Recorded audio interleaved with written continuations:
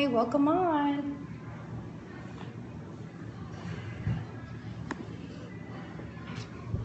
Welcome, welcome, everybody. Give me one sec. Let me move over. Just making a post on Facebook, letting everybody know that I'm live. Great to have you guys on. Let me turn this up. Thanks for the hearts. For those of you that are just joining, go ahead and let me know where you're calling in from or calling in from. Listen to me, sound like I'm doing a conference call. Let me know where you guys are at. Thanks for the heart so early on. I appreciate it. And if you swipe to the left, I think when you have Southern California, awesome. Toronto, Jersey, welcome. Um, if you swipe to the left, you can actually share this. We're going to be talking with your followers. Honolulu, aloha. I love saying aloha, by the way. I hear Brandy say it 4,000 times a day. I love it. I love it, love it, love it. So anyway, if you swipe to the left and hi, um, you can actually share this with your followers. I'm going to be talking about what is the difference between a net wish marketer and a network marketer. I'm actually just making a post to let people know that I'm live on Periscope. To the right. Okay, to the right. I don't know why. Mine's to the left. To the le- oh, yeah, but I guess it would be to the right to you guys. See, I don't even know my left and my right. Anybody can be successful in network marketing, you guys. So, welcome on. Today I had a pretty crazy day. So, I have all new respect for women that have more than one child because, um, yeah, I'm funny, right? So, hi, Dr. Sarah. Welcome. So um, I actually watched my 10 month old niece today with my four year old daughter. You probably heard Jake and the Neverland Pirates in the background. And I was trying to do three way phone calls. I was also trying to get some emails together and still do prospecting at the same time. And let me just tell you, multitasking to the T. I did it. I am a superwoman, but I have an all new respect for mothers trying to run a business because I have one. I don't have multiple. So I have a whole new respect for women with more than one child. You are rock stars and deserve like 45 medals and should rank like 500 times faster than everybody else because, oh my gosh, amen, right? Hi, Don, right? Oh my gosh. So, anyway, um, that was my day today. I did a little bit of an earlier Periscope. And if you guys like anything that I share, tap the screen. That gives love. We love love. I give love back.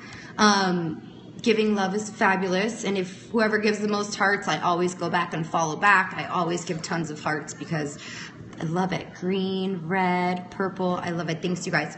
So let's talk a little bit about the difference between net wish marketing and network marketing. So I will um going to be authentic with you guys. I'm going to be completely honest with you guys. Um, when I first joined network marketing, I was a network marketer for the first like month, and then I turned into a net wish marketer. So this is in 2012 when I first joined network marketing. So why? What happened? Well, I was really excited. I had all the passion that I needed to have. Thanks, Sandy, for inviting everybody. Queen No Free Design, welcome. The Randy Rogers, welcome. Welcome, you guys. You can let me know where you're calling in from as I'm talking. So, um, the first month, I was off to an amazing start. I was so excited. I was calling people about my opportunity. I was, you know, picking the phone and calling about my product at the time that I had. I was on fire. But the problem was, is that once that drizzled out that excitement.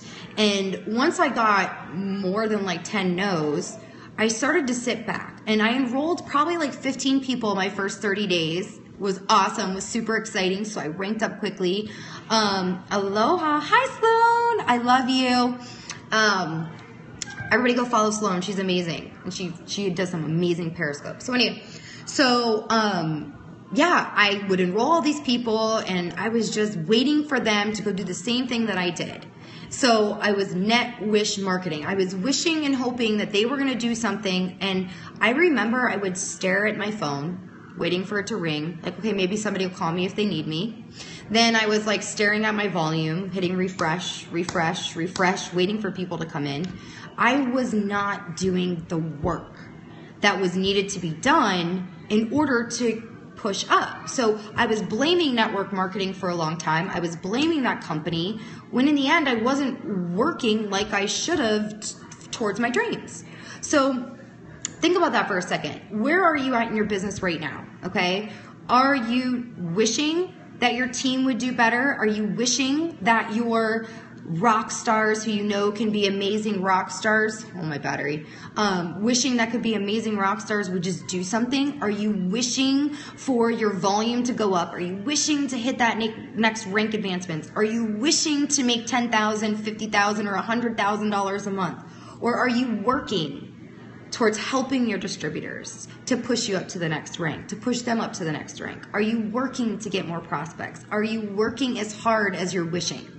So I was reading, you know, I always read like too many books at one time because I, I'm I'm ADD. We all know this already, right? Tap the screen if you're ADD with me. Go ahead. Let me see some ADD people. Tap the screen. Nobody's tapping. Tap the screen. Show me who's ADD. So anyway, so awesome. So um, so I was reading a book and it was talking about how you can't wait and wish for something to happen you know, think about anything. Think about all the athletes, how amazing they are that are in the Olympics or that are, you know, in the NFL or the NBA. They can't wish themselves becoming these amazing athletes. No, they had to work their you know what's off to make sure that they they became stronger where they were weak I'm always reading and listening to two or three books. Okay, good. I'm not the only one. Pound it. That's awesome. Good. So, yeah, you can grab information from all over. Listen, however, you guys have to work to kind of keep your brain going and keep learning, it all works, right? So, no worries. So, if you think about all the hard work that these athletes have put in, where they're strengthening where they're weak, right? And their strengths they're even getting better in and they're excelling in. They're learning more and more on how they can become better players or better in the Olympics. They study their opponents or they study the other teams, right? So they can get better, so they can learn different techniques or learn different ways to do things. So it's the same thing with network marketing. So I'm a six figure earner in network marketing now. High five, right? That's so awesome. It's so exciting. But what happens if I just wish for my team to push me to the next rank? Just because I'm a six figure earner doesn't mean my work is done. So the same thing goes for you guys. If you are not where you want to be, your work is not done. I'm not where I want to be yet.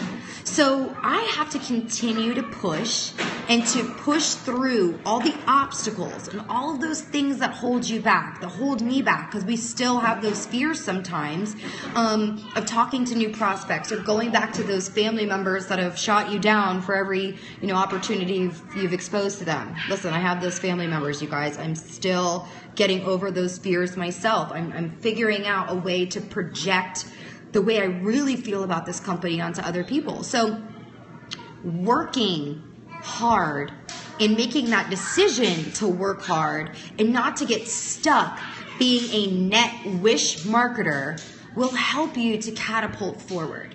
So think about the people that are in your group that maybe you've been wishing they would just do something. How many times do we hear, you know, I just wish that Jane would just, you know, have some in-home meetings. I just wish that Jane would see the potential that I see in her. I just wish Jane would go to convention. Well, how about you work on figuring out how to inspire and encourage your team and this, I'm speaking from what I had to, to do to myself and retrain my brain in the past 90 days, you guys. So this is not me telling you what to do.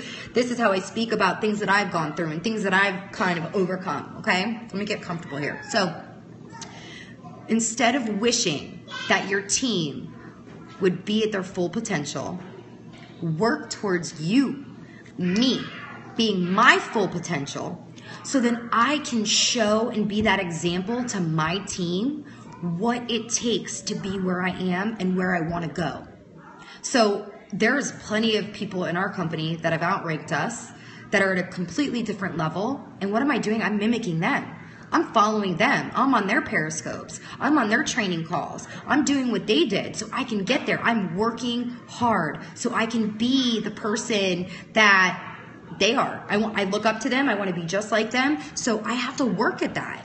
And, you know, the first thing that I did was as I wrote down things that I think I needed to change about myself, not change necessarily, but work on things that maybe I was weak at when it came to business, life, relationships, team training, team building. And then I went to my upline and I said, Hey, these are the things I think I need to work on. Do you think that I need to work on these things or do you need to, do you think I need to work on something else?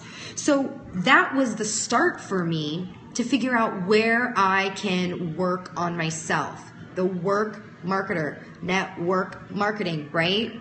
So the second you stop working on yourself is the second your team is going to stop working on themselves, which means you're going to flatline and your business isn't going to grow. So why would we want a flatline? Who wants to flatline? I don't want a flatline. I want to grow. I want to get bigger and I want my team to grow and get bigger with me.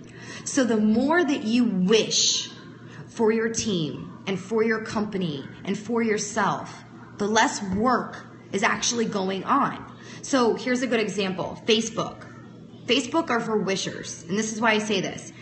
Facebook can be used, so, so can social media, for work, but it also can be used for wishing. How many times have I, because I'm just going to speak from experience, I sat back and I just read the news feed and I liked posts and I made a little comment here and there. And maybe I spent, gosh, who knows? If you add up the time, it was probably five hours a day on Facebook alone of just getting caught up in other drama, getting caught up in other people's things, other people's lives. And I'm not concentrating on mine. I'm want I'm wishing for my life to get better. I'm wishing for that success, but I'm over here spending time listening to Joe Schmo from Alamo and how he cut his finger or how he went to the beach. What is that doing for my business? Nothing. So with social media, make sure you're acting as a network marketer. Make sure you're not wishing that social media people are just going to fly into your lap. And just by posting about your company 24/7, people are going to fly into your lap. There's a system. I'm sure your company has a system just like ours does. Our system is amazing, and we have step one, step two, step three, step four for social media that we stick to because we don't want to, one, ruin our databases, and two, we don't want to just post about our company every single day, every single day. And then you don't want to get caught up in thinking that's how your business is going to grow. So get your hands dirty. You want to make sure, hi, welcome. Hi, Kiyomi. Welcome, guys. So excited to have you guys on. So, um, get down and dirty. And that's something that I have committed to redoing in my group is getting down and dirty. I am going to get my hands dirty as much as I can. I'm going to do as many in-home meetings that I can commit myself to. I'm going to enroll again all over again like I need to, and I'm going to commit to my personally enrolled people that I'm going to help them get to where they need to be. I'm also going to work on myself as much as I can to get better. Um, speaking, I'm going to be speaking at convention, so I have a fear of that, of speaking in front of that many people, because here I can't really see you guys. I have a fear of it and, and I get that anxiety and I get those butterflies in my stomach and I'm learning how to let that fuel me instead of letting that paralyze me. So working on yourself is going to help you flourish in so many areas, more than just your business, also with relationships. So tap the screen if you liked what I shared. I'm so excited that you guys joined me today. Um, just wanted to share a little bit. And again, shout out to all the moms that have more than one baby in the house and are trying to run a network marketing company or doing it. You guys rock. Um, high five to the Million Mom movement that we have going on as well. And I am so excited to see all of you at convention. And thanks for joining me. Remember, be a network marketer, not a net wish marketer, you guys. Talk soon.